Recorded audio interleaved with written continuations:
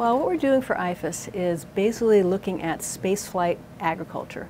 And so what that means is what does it take to take our biology off the planet and grow plants in a situation where we can get both nourishment and recycled water, recycled air in an environment that is completely outside the evolutionary experience of any organism on Earth. And particularly when you think about plants, they're used to growing with their roots down and their shoots up. And what does that mean for a plant when you take it out of its normal gravity environment? So that's the kind of things that we are studying in broad strokes. Most recently, we have become interested in using some of the specialized equipment on the International Space Station to understand the signaling that goes on in plant roots to help them understand what basically direction should roots grow in.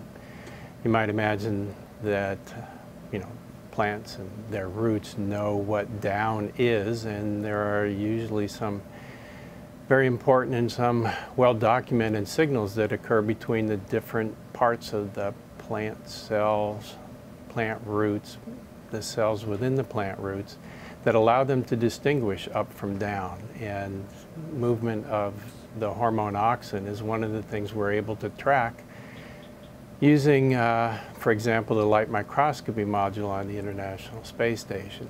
We have uh, various genes that are tagged with green, green, fluorescent protein that allow us to understand the movement of auxin in root tips in microgravity and ask the question how different or similar is that to the way uh, those genes react on Earth.